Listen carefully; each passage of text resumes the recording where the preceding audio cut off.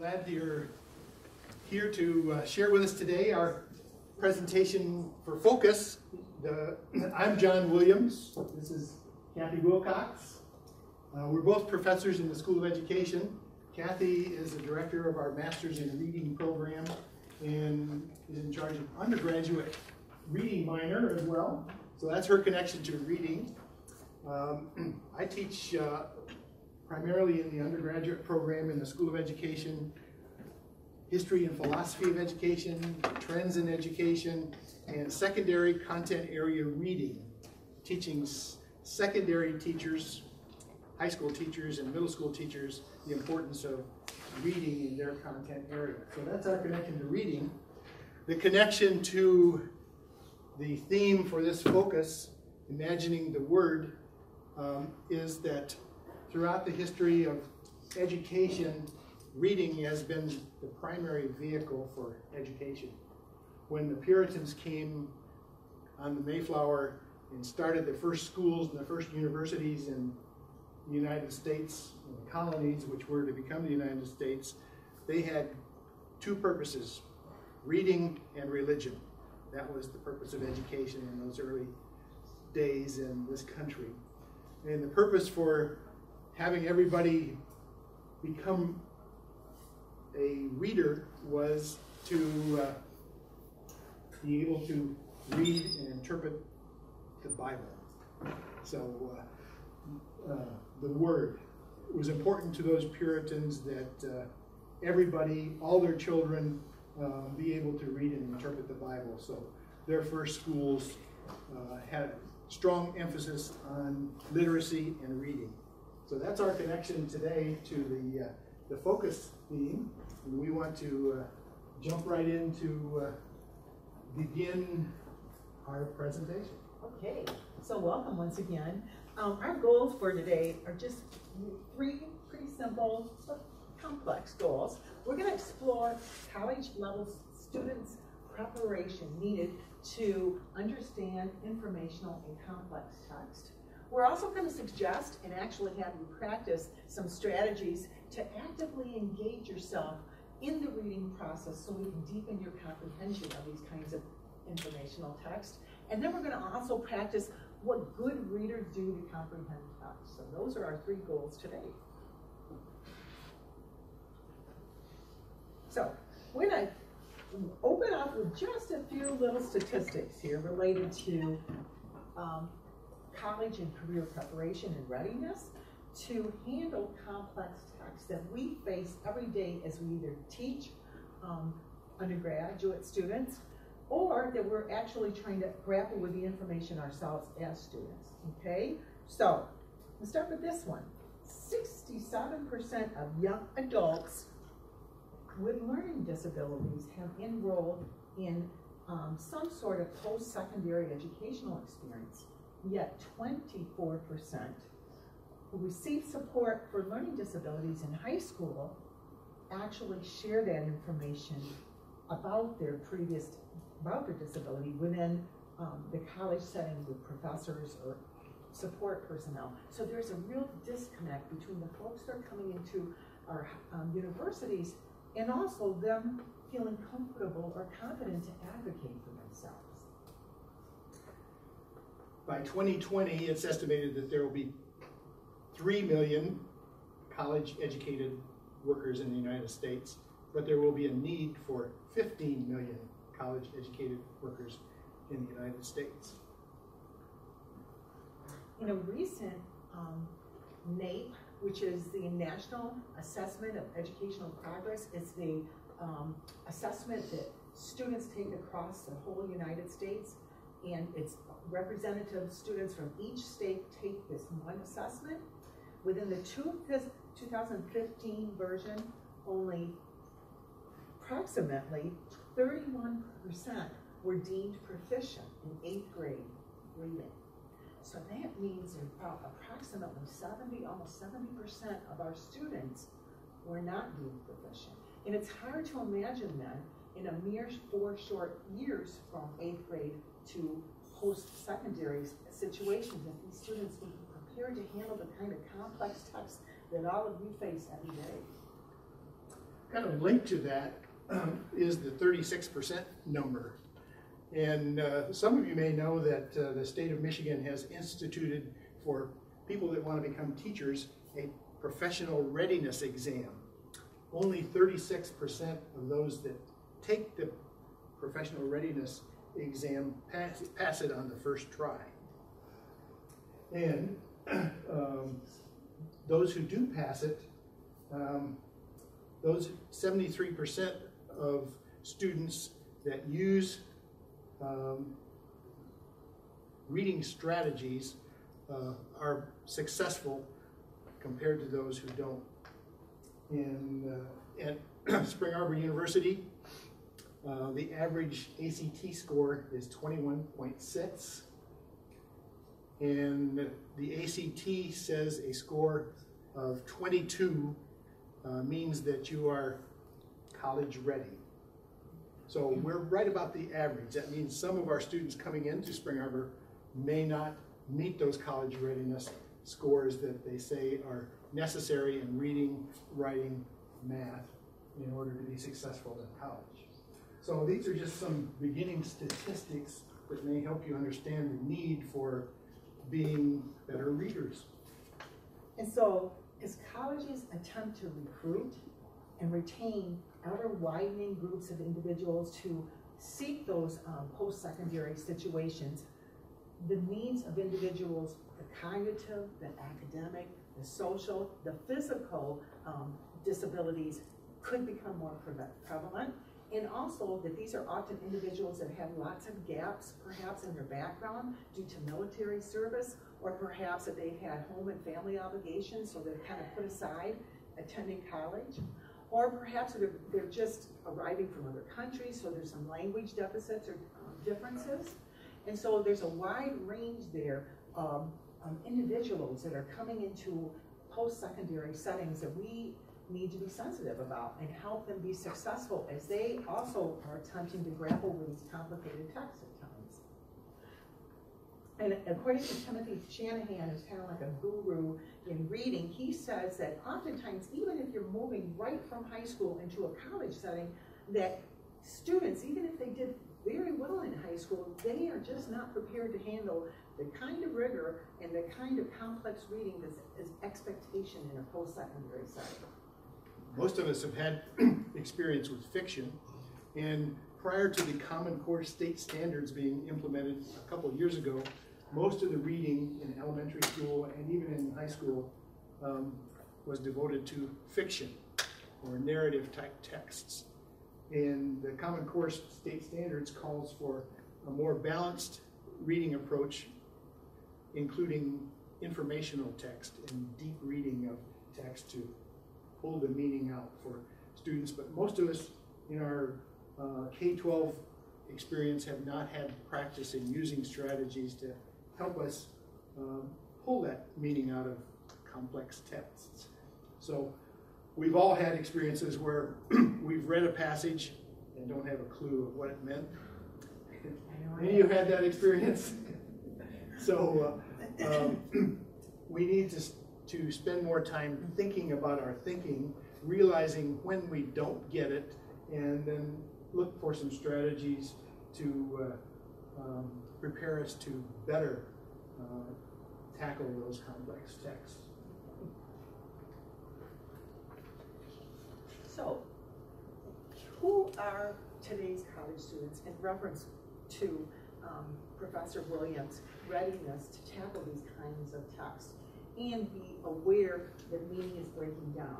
So according to Harvey and Goudvis, they they have four different categories and see as I kind of review and go over these, if you can identify your yourself in times and probably you're going to say I can fall within all of these categories at different times, depending again upon the text that you're encountering.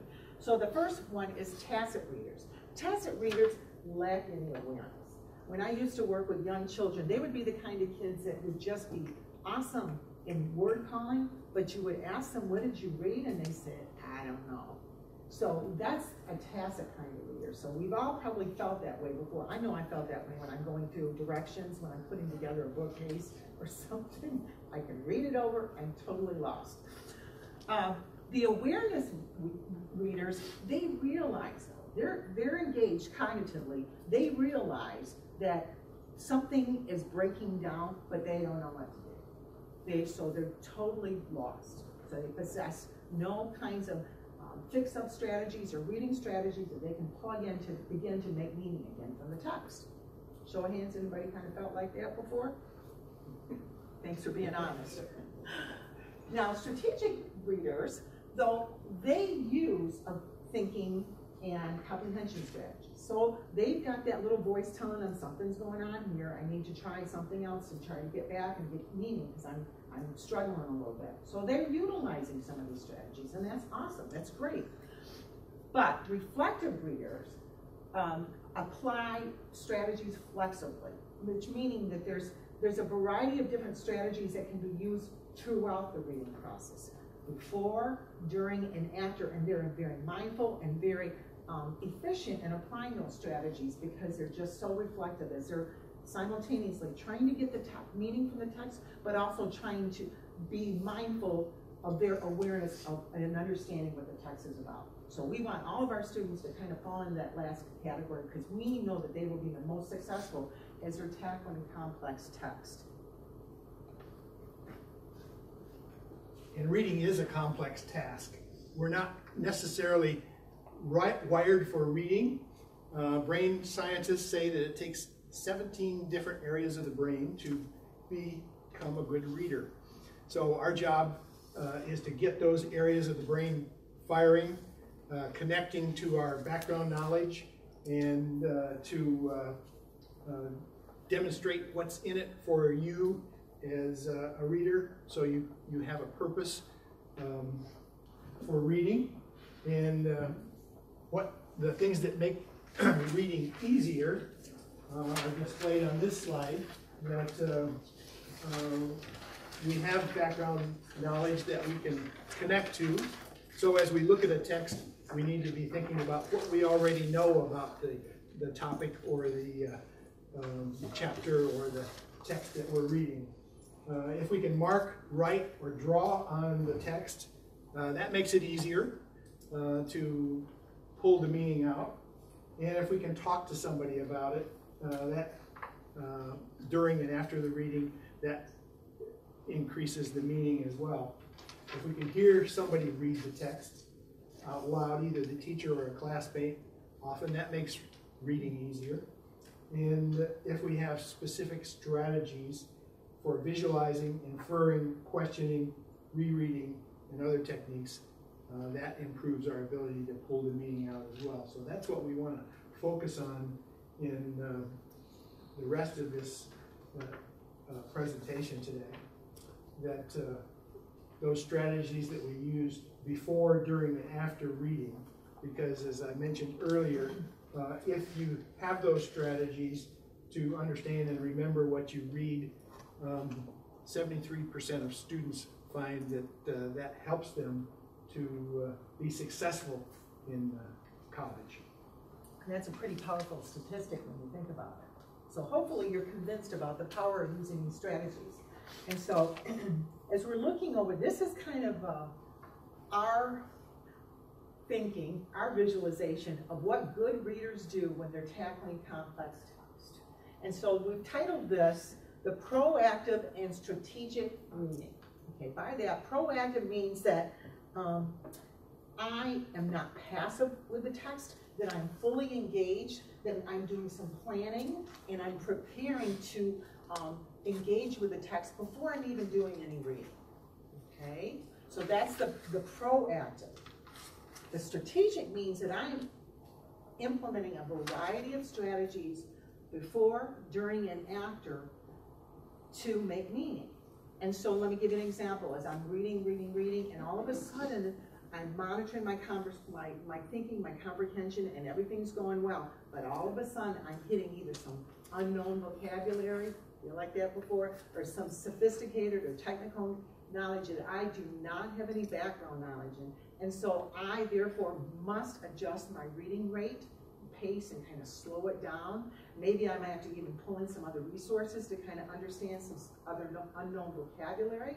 But then I'm going, I'm doing doing very well, and all of a sudden, I can start skimming some parts, because I already know this part, it's, it's, it's not relevant to what my purpose is for the text, so I can kind of just skim that, kind of like, you know, when you're going through a phone book, I don't know if anybody uses phone books anymore, but you're just skimming it to get the vital information that you need. So that mindfulness, that metacognitive component is just critical. So, um, metacognition really, anybody ever heard of that term? Okay. And I love, I've actually, you know, it's a, it's a million dollar word, that's what I used to say with elementary students, but it's really, it's just thinking about your thinking. Um, and another wonderful uh, definition that I've heard defining that is that um, you're listening to that inner voice, I really like that because it's that inner voice that kind of tells you, yeah, I'm connecting with this. Yeah, it's connecting with what I know, I understand. Oh, I'm really, I'm going full speed ahead. So it's that mindfulness and that listening to that voice and being self-aware and then understanding what to do next is the critical part. Because initially, as we begin to practice some of these strategies, it's kind of like an athlete. It, has to, it's very intentional and very mindful that, oh, I've got to do this now. But like any good athlete, eventually these strategies become skills. And therefore, you don't have to think about it so much. It's kind of like me when I'm trying to learn golf right now. It is still in the very much the strategy stage because it is not at the automaticity or the, the skill stage where I can just do it. And we want to move it to that because then we can, you know, we have more room in our brain to focus on the meaning as opposed to applying the text. Is that kind of making sense? So, all right. After previewing, then we want to predict. Are you going over this, John? Okay, yeah. These, when you think about these in our, in our thinking, each one of, think about each one of these visuals and the title, the previewing, the projecting, the purpose, the prominence, and the producing, it's really strategy categories, for lack of a better term, okay? And I kind of created a mnemonic, they all begin with P as you notice, so it can help us as we're working through a complicated text to kind of a, a check off to make sure that we've done some previewing in advance. We're previewing the topic, we're reviewing the title, we're looking at those subheadings, we're looking at the pictures and the captions and trying to figure out perhaps what we think it's going to be about. And then from there, it's a prediction stage where we're really thinking, okay, what do I know about this topic? And then making some predictions, okay? And we're going to go into each one of these a little bit more in detail, but I'm just going over them right now. And then the purpose one is really the intentionality of once we've done our good work on our previewing and um, we're going to think about what is our purpose for reading this. And for those of us that are professors, we hopefully are being really transparent with our students and giving them that purpose. I want you to read this because, okay, that helps the student with the purpose. Or for all of you that are kind of just assigned something without a lot of direction, it's that helping you turn your prediction then into a purpose because that will just make the text come alive for you as you try to um, understand your purpose at a deeper level as you read. And once you're doing that, an, an integral part is also the prominence. And prominence is nothing more than determining importance. And you're det determining the parts of the text that really help you with your purpose. Okay? And then finally, after you're done, you have to do something with it. So that's the, produ the production stage where you have to talk about it, as Professor Williams mentioned, or um, share it in some sort of way because you doing work on it really makes it more meaningful and then you own it. Okay, so here, okay, we all are comfortable now. Now we're going to have a little bit more engagement now that we've given you all this good background. These are these are titles from actual text that we pulled up. Okay, the first one is not grass-fed, but at least pain-free. The second one is well-off nations, kids not the best off. The third one is deadly spider requires long courtships for else. And finally, lesson plan, no more homework. Wouldn't that be great? So, I'd like you to share with your um, your neighbor, and hopefully everybody's kind of sitting nearby someone, just to kind of talk about the title of some of the passages. Um, what do you think perhaps it could be about? And then also share about your good background knowledge, how you were able to come up with that um, idea based upon your background experiences. Okay, so we'll give you a couple minutes here. Aren't you glad I said next to you? um, well, the first one I think could either be a metaphor or it could be literal. So, Well, the rest is uh, I don't know. I was kind of thinking. It's kind of The one? like we're not like we're not like I mean, I mean, they're just trying to like Right. it because the thing is, if it's bored, yeah, whatever. Yeah. um, Um, as far as what like they could be talking about though, uh, I mean the Deadly Spider one, that just sounds like because I've heard about a lot of you know like women spider or female spiders that like you know eat their eat the male spider after everything, and so I it's didn't probably something to do with like they mate for a long time or else the female's gonna like eat the male spider or whatever. So, So which one are you guys on now? um, because you just kind of bounce around. I'm trying to think of what Well, I mean, I'm just It's not the best dog. Like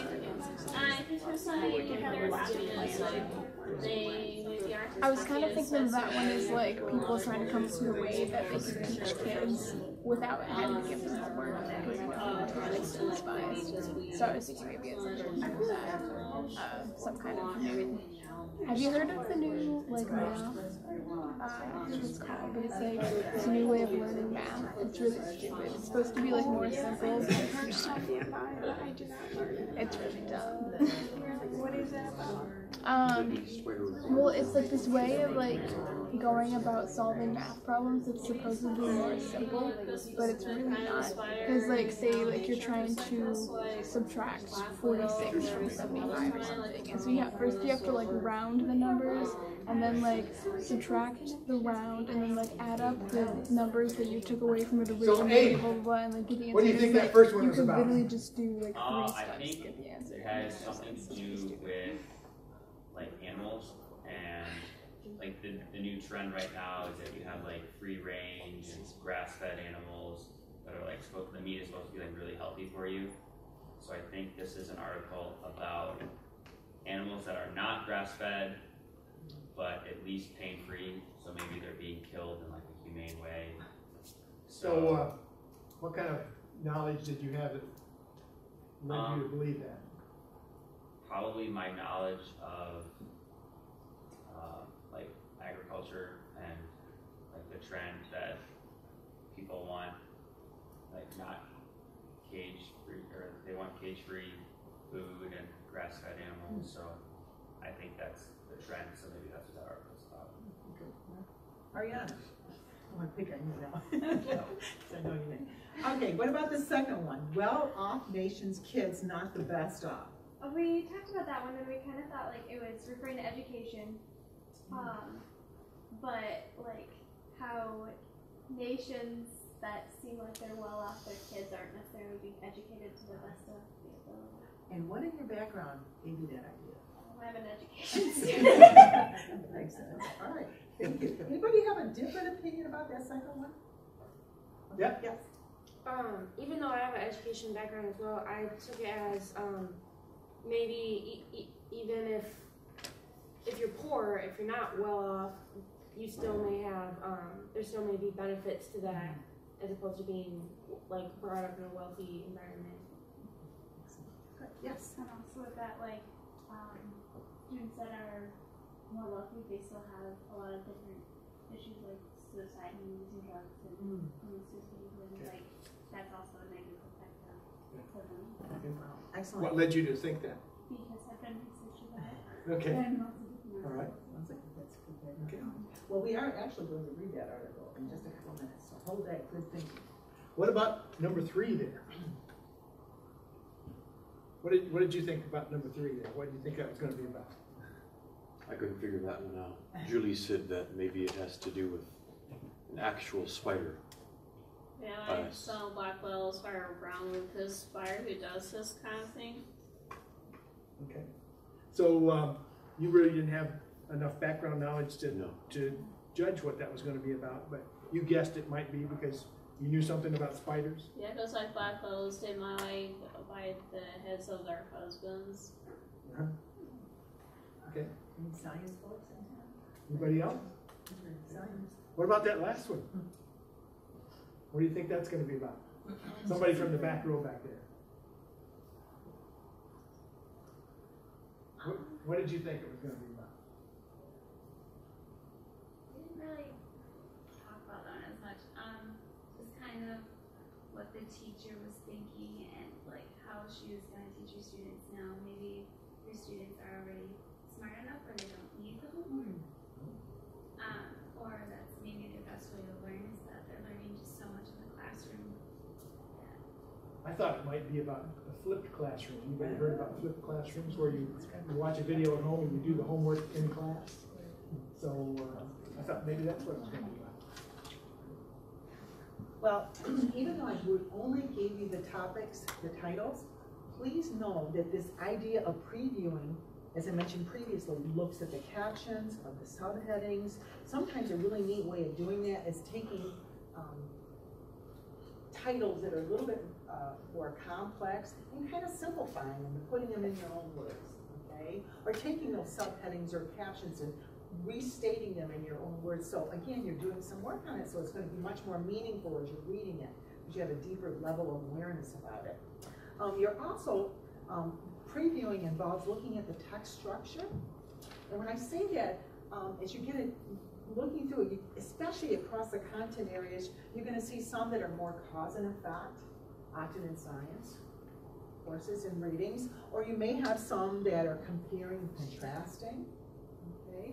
Or maybe one that tends to be a little bit more problem and solution, such as in mathematics, or even sequential, like in a history class, a series of events. So knowing the structure of the text also helps you as you're previewing it and beginning to get ready to actually do the reading on it. Another important thing to preview is on any unknown vocabulary that you see. So making sure that you're circling or highlighting, you're doing some work on that text, either by trying to attempt to reading it the sentences around it to figuring out, or even using an outside resource can really help you, especially in some of these technical terms that we may just need to look up in advance. Okay, now we're gonna actually dig into that article, Well-Off Nations Kids Not the Best Off. So when I hand, hand you the article, if you would cover up the primary text and just, we're just gonna focus on the, the title and the subtitle first.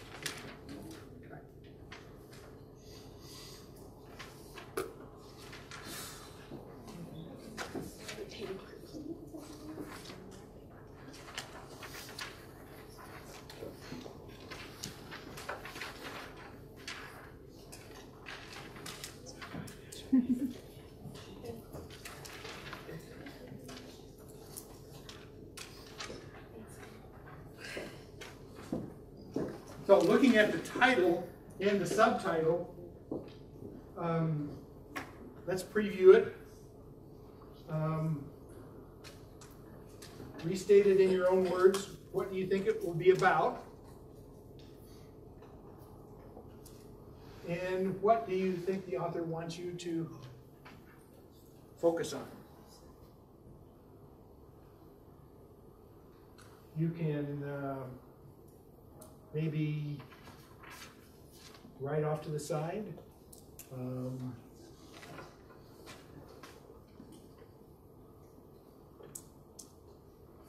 on mine, I put, I think they might be talking about health, maybe obesity.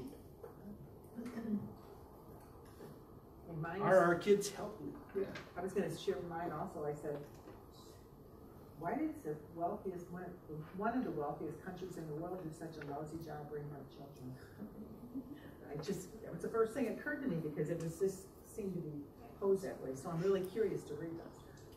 So then you want to ask yourself, what do you want to find out? Um, I put on mine, I want to find out what they mean by best off and who ranks first. And I think the author wants me to know why we're at the bottom.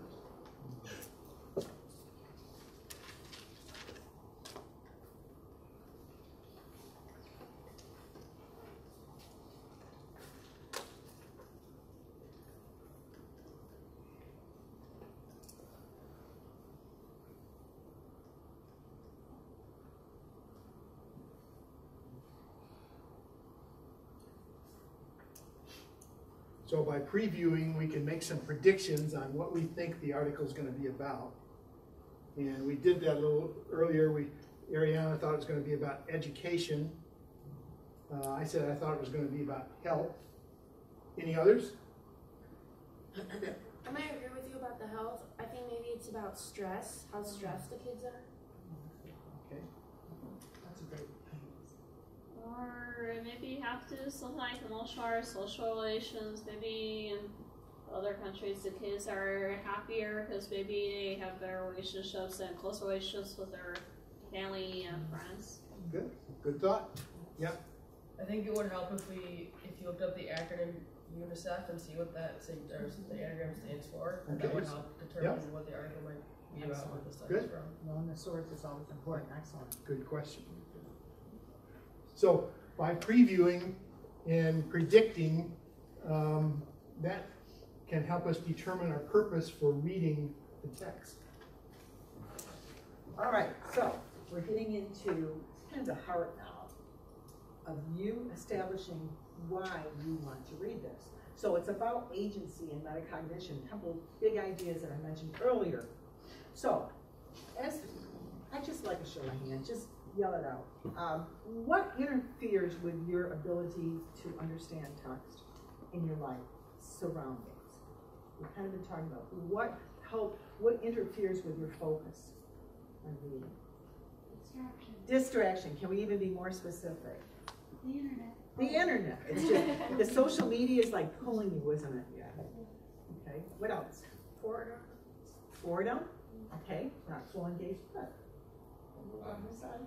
Yeah. Something along the lines of that, like thinking about like ways I could make better use of my time. Feeling pulled to accomplish other things. Excellent. Great ideas. Absolutely. And there's so many more.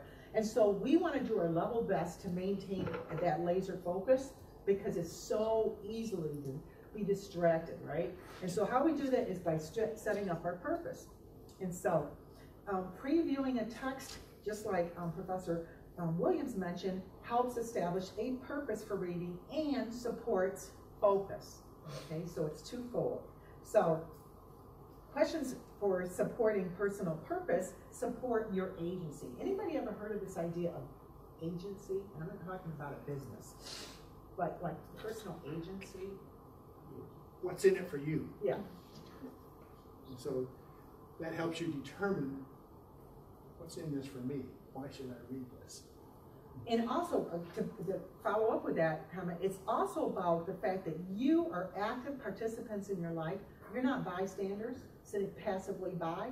You, by being actively engaged, you have a sense of control. And that's what we all want in our life. And so feeling that sense of control then can really help one with our focus while reading. Okay? So that agency is critical. So when we're engaged, we are also reflecting upon then what is my interest level in this topic? What do I want to find out about this topic? And what does the author want me to know? So I'm going to show you a little clip now. Kind And we're gonna focus, we're gonna tell you to focus on this video and uh, see who can get the correct number.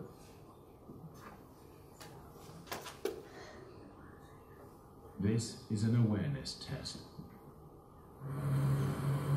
How many passes does the team in white make?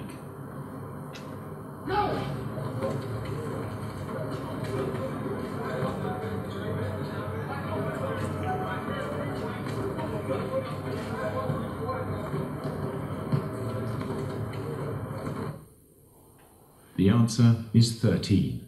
How many got? I couldn't but see it. Did you see the moonwalking bear? Yes. I knew that was going to. No!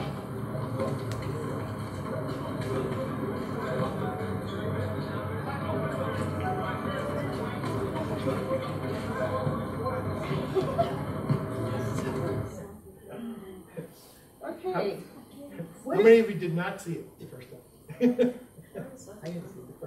the first time. either. The lighting's not great, because it was kind of hard to see, I know, right now, but, okay, once you had that idea about that moonwalking bear, it's almost like you couldn't help yourself but see it the second time. Anybody have that experience also? That's what purpose does. It's almost like it explodes off the page. That's what I used to tell my students. It literally will pop off the page to you. Once you have that intentionality and that focus, you can't help but see it. So, to that end, you have another article. It's called The House in front of you. If you could just briefly read that over right now in the next couple minutes, and then we'll come back together.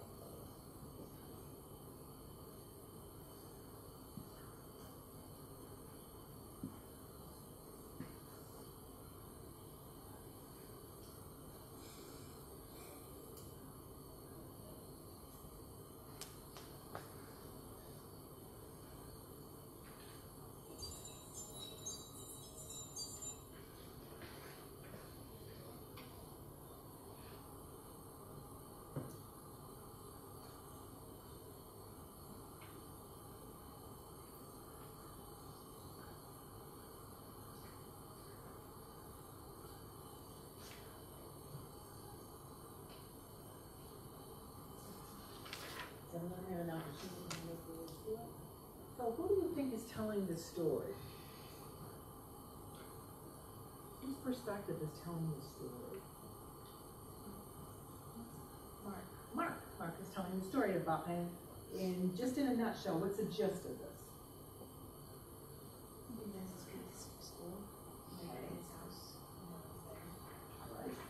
So this time though, you just read it as kind of a blank slate, right? Didn't do any reading strategies or nothing, we just read it. This time now, I would like you to pretend that you're a real estate agent. And thinking from that perspective, what kinds of things would you want to attend to within that class? So just give you a little, uh, maybe one minute to kind of review it from the real estate perspective, uh, realtor's perspective, and then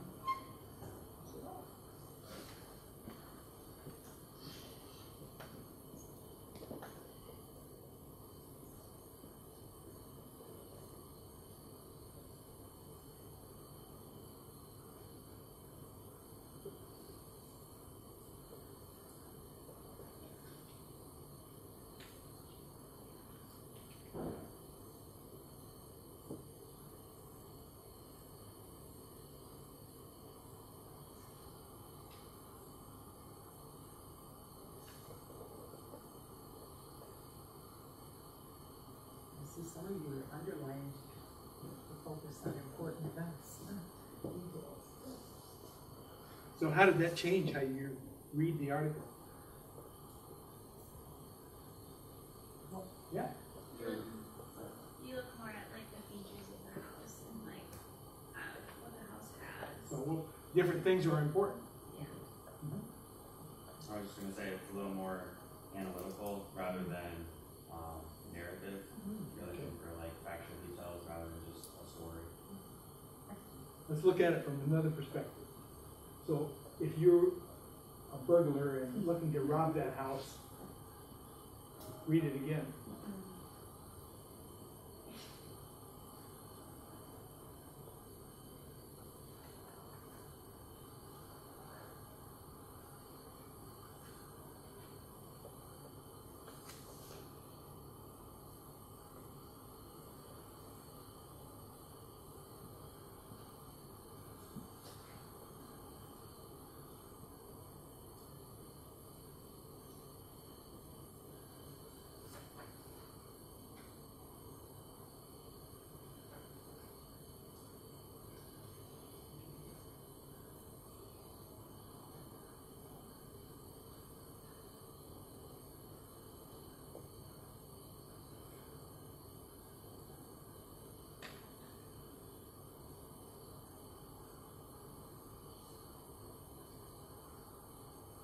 So what elements jumped out to you this time, reading it from the robber perspective?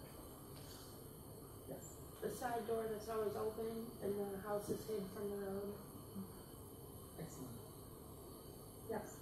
Where all the cool stuff is stored. Yeah. Yes. Anyone else? The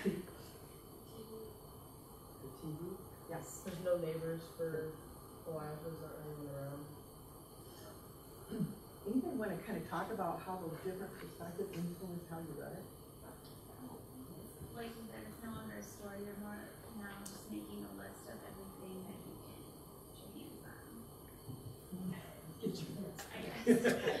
Take out of the home. That's great. Good. Yeah. Also that the mother's never home on Thursdays. Good to know. Okay, so purpose is very important in, in reading. And uh, um, specificity is important as well. So um, take a look at this title. Brain test may help diagnosis. Tool could reveal unseen damage to traumatic injuries. Now, there are five purpose statements here. Uh, evaluate those five and rank order them with one being very specific and reasonable, useful, to five being very specific, reasonable, and useful. Not one being not very, and one and a five being very specific. Rank order one through five. Five being the most use- useful. And one being very vague.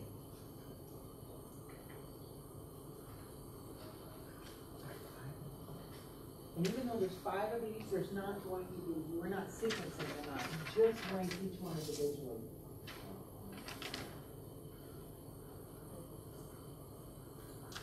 One is vague or five is vague? One's vague.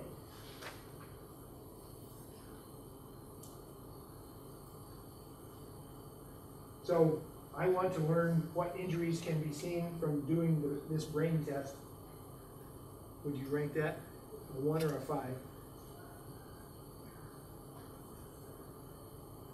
Ari says five. Who else has one? So that's pretty specific. I'm reading to know what this article is about. A one. I hope to learn something new today. One. About the different kinds of brain tests.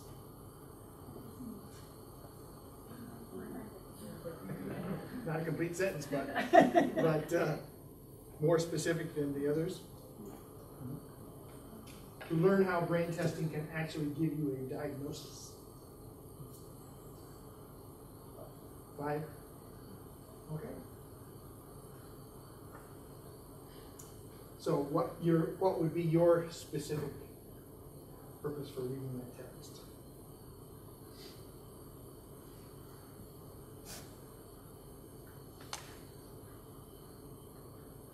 I guess it depends on why I'm reading it, like, is it for an assignment, is it for fun? Yeah. Am I a medical student? Mm-hmm. Yep. Do I care about this issue? That's, exactly, that's, that's what you need to determine. Mm-hmm. Like every time um, Professor White and I were preparing, my mom had um, Alzheimer's and she just passed a couple years ago. And so how I'm looking at that reading is quite different than others because, you know, was there a traumatic event that caused this? And if so, is there a test that could show that? And furthermore, do I even want to test myself though? I mean, I, I, don't, I don't know. So those are those kinds of questions that are going into my mind as I read. Okay, now we, as we're accessing and making meaning to the text, we've got our purpose here. It's always, we're mindful of our purpose, but now we're at the next stage of strategies of determining importance. Because what we determine is important is what will help us with our purpose. And I saw many of you doing that as you were highlighting and underlining and circling within that previous, the house text. Because as you had a different purpose, you were trying to highlight what was important related to that purpose. Okay?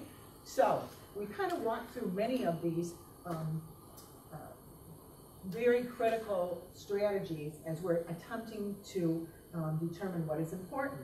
University of Michigan, though, has identified determinants, determining importance as under two headings. And the first one is the elaboration of the text, and we're going to spend a little time with actually practicing some of those strategies related to that elaborating of the text, and also organizational strategies. And we're going to spend some time on what that looks like because all of these different techniques are under this idea of what's important in the text, what do I need to pay attention to to help me with my purpose statement.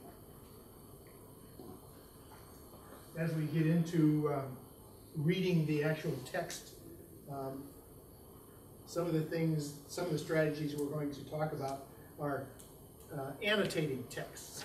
And whatever approach you select um, is hopefully going to help you retain the information and it involves a conversation with the author.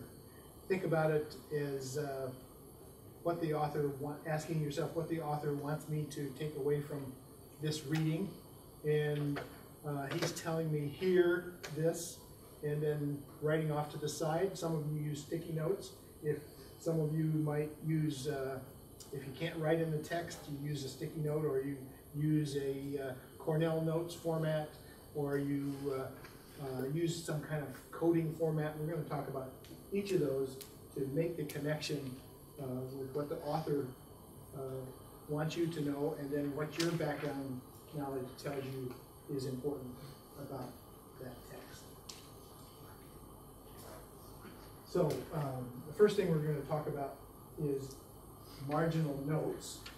And that's basically writing in the margin or using a sticky note, reacting and summarizing the main points in the margins. Then we're going to talk about text coding and uh, then sketching through text.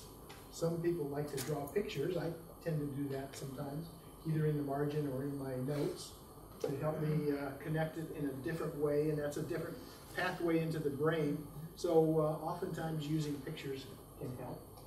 And then uh, a note-taking format that works for you is, is important as well, as well as perhaps a graphic organizer.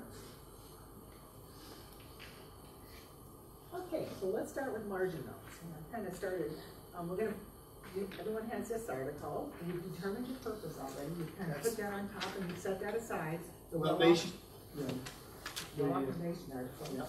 Okay, so just to refresh, what, my purpose statement was, what are one of the wealthiest countries in the world do such a terrible job bringing up children? So therefore, I would ask you then to read the first paragraph here, okay? And you can use sticky notes, or you can write on this, whatever your pleasure. And your, some of your thoughts, your reactions, your opinions, or any further questions that you have regarding just the first paragraph. And then we're gonna stop and share some of these out.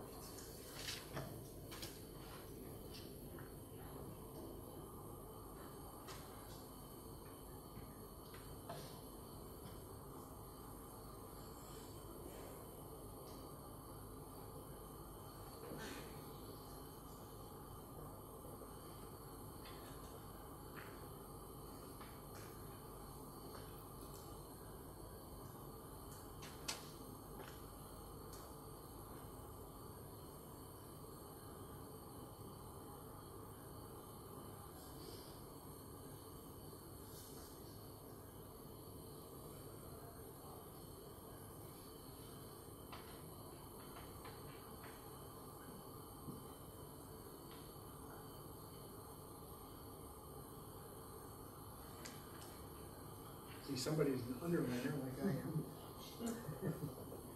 Or highlighter.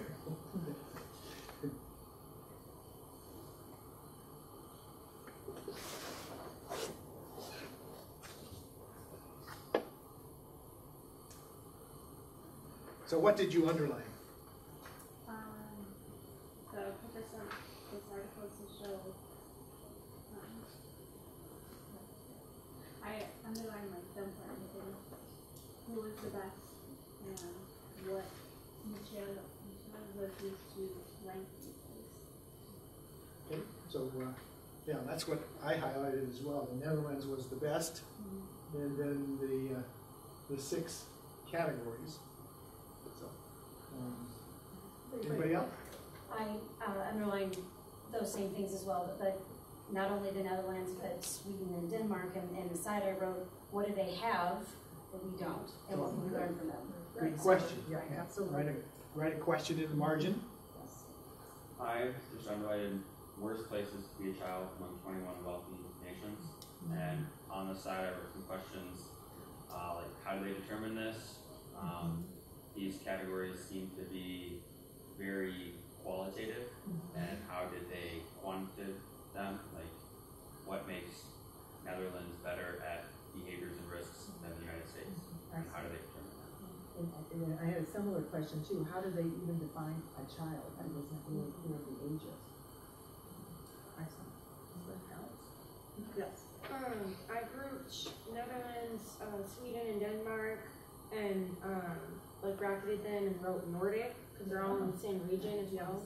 Excellent. Good insight. Yeah, I read the first sentence about the United States and read he ranked the worst places um, to be a child um 21 multi nations. I was thinking say what? Because I was thinking from the special ed professional's perspective where those two countries are like the best if you're a special needs child, which I actually am I'm high functioning autistic. But then was looking at the six categories I could see yeah, I could see how we're maybe not so good in relationships behaviors. And rest in the Denmark and other ones, um, they kind of made sense to me because I had heard about Denmark being ranked the happiest country in the world. Excellent. Well, let's move on because we're approaching the end of our time. So, yeah. Is the code, anyone ever use any of the text coding ideas? Now, um, these are some from a text, but you can certainly create your own. So in the next paragraph right now, using these as examples, try to plug in a couple of these um, predictions or contradictions, be able to visualize any of these elements that will help you again reinforce what's important within the second paragraph. I tend to use the question mark and the exclamation point, and sometimes a star.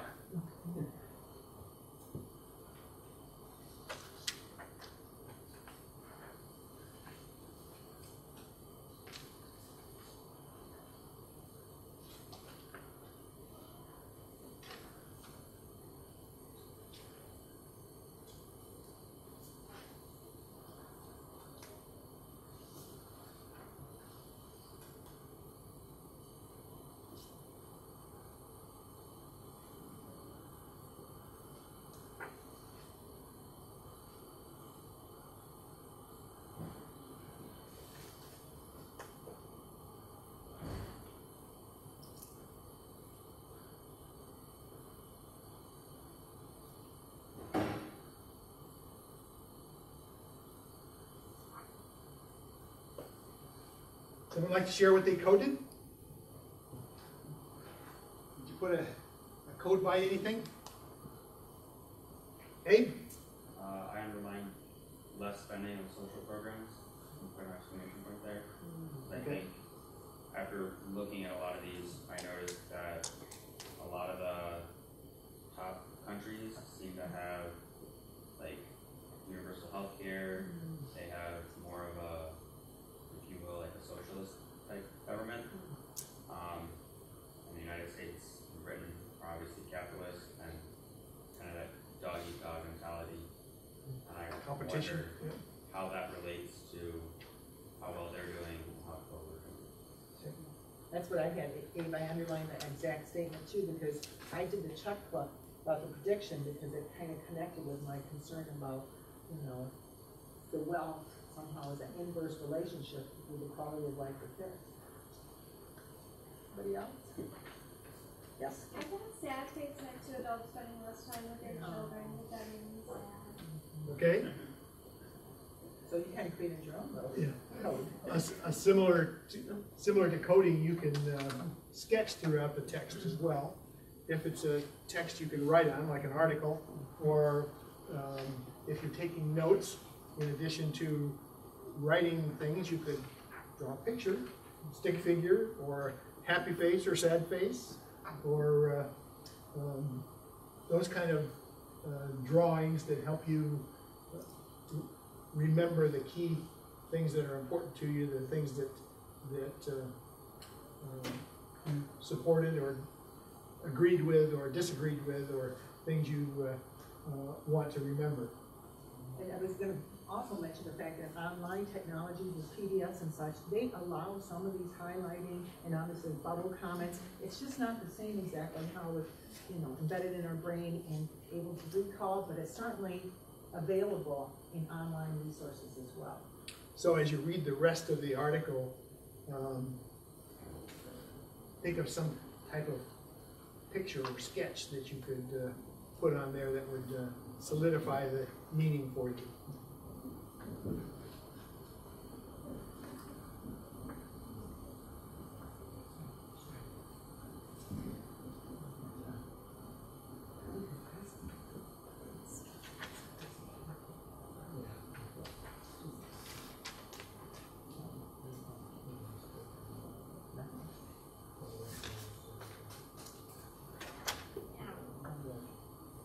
Many of you use a two-column note format, format? Anybody? You know, we, uh, we recommend that in Core 100 uh, using the Cornell note situation where on the left side, you take your notes, and on the right side is where you can ask yourself questions and uh, record your metacognition, your thinking, uh, what the author is telling you, uh, what stood out to you. Uh, you can draw pictures there as well um, to keep things uh, connecting with that area of your brain so you can recall it better. Uh, your reaction, your thoughts, your questions are important to uh, uh, remember and record in some way. So whether you're listening to a lecture or reading a text, uh, a note-taking system is important. And finally, this falls under the organizational uh, approach with um, determining importance that you had mentioned earlier. That a couple different ways to think about this is that either you come in holding and um, using a graphic organizer as you access text for a variety of purposes, such as like with the Venn diagram, that would lend itself very nicely with a compare and contrast kind of text structure to record your thinking so you can recall it and make it more memorable and therefore your own. Or what's a really neat idea for those of us that want to have diverse thinking and how people are processing and determining importance is to ask students to just sketch it out using their own um, graphic organizer of the text and then have a conversation with your colleagues and your peers about how they um, determine importance and how they graphically represented it, represented the text graphically could be very powerful as well. Often that uh, makes the meaning more personal than if the uh, professor or the teacher gives you a graphic or organizer where you fill in the blanks. Uh, that's usually less memorable than something you construct yourself. So that's a good idea. Well, we're at the end of our time. So as we close, um, we wanted to talk about publicity, doing something with the information. So what helps make your learning come alive and memorable as you finish reading something? What supports your retention and ownership of uh, an article that you read? What do you need to do? What makes it more meaningful? Not doing a diorama, right? Yes. being able to relate it to previous learning. Like I'm in a, I'm in a class and I'm reading something and I can recognize, oh, we learned about this last week, then I can remember it better. Or if How am I can- gonna use it? Yeah, or I can relate it to my own personal experience. That helps me. Perfect, making those connections. What else? Discussing overall is such a powerful tool to help you just solidify your understanding and even maybe clear up some misconceptions that you may have that your peer may can help you sort it out. But just having conversations is critical about the time. Harry Wong says learning is a social activity. So you need to be able to discuss what you thought about the article, the chapter, what questions you might have uh, to help solidify that by talking it out with uh, your roommate, your friend, another person in the class. Well, thank you so much for being such an engaging audience and willing to participate. We just, we're just really encouraging you to perhaps try some of these strategies and some of the complex texts that I know that you're have assigned in every course that you're taking here. And so, thank you once again, and just enjoy the rest of your afternoon.